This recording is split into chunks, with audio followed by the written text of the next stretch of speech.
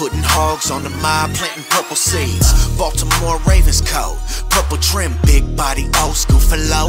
Purple rim, 7-7 cutty, black with the All purple right, what's good, Ravens fam? So, y'all remember this dude that was like, per sources, um, we see that you buffed up Lamar. Per sources, uh, they they they saying that you don't like to work out. Y'all remember that? Yeah. If you don't, here's a refresher.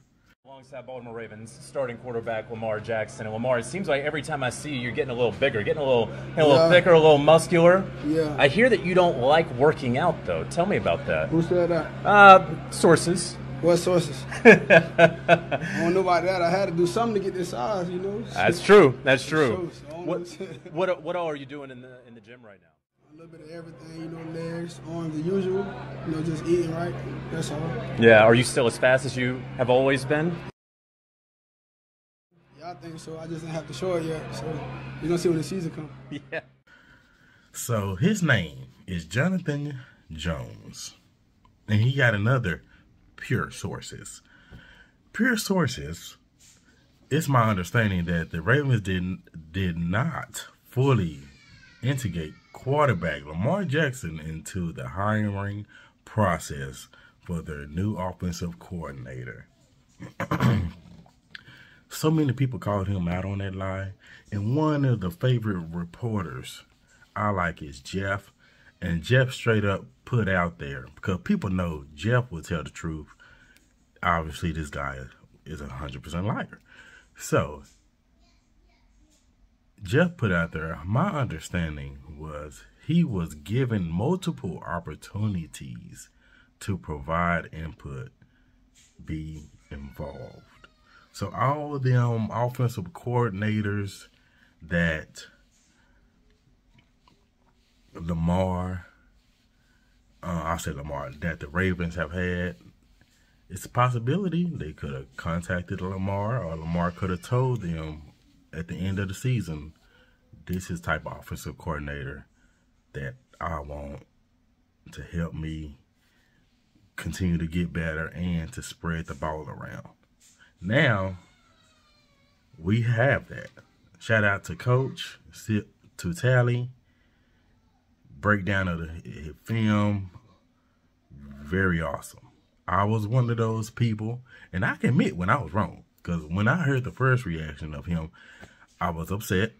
I know people was like, he's a two-time champion. I can understand that, but I was just concentrating on the fact that I was like, Eric Bieniemy, Super Bowl is over. They is finally gonna interview him, but they didn't interview him not once, and that was like made me very upset. But with this hire, I'm cool with it. I'm cool with it. Um, this video is really about the liar, uh, line, uh, Jonathan Jones, what he did, but I'm cool with the hire. Coach broke it down, everything. The man, and I even looked at other people, um, breakdown and all 22. Uh, the man, Georgia, he fed the tight ends, but Georgia didn't have no wide receivers. Pickens was gone. And he just, everywhere he went, he feeds the best players on that team.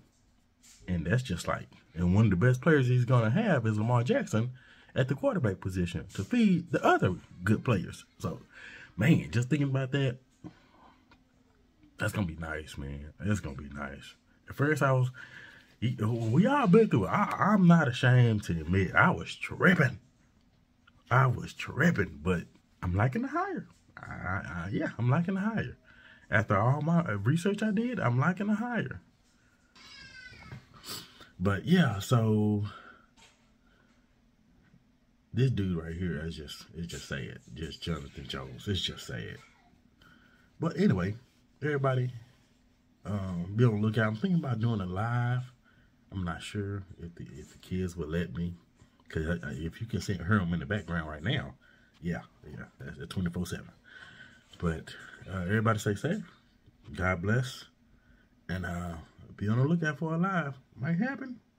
Just hit that note. Hit that noti- notify. Not- notify.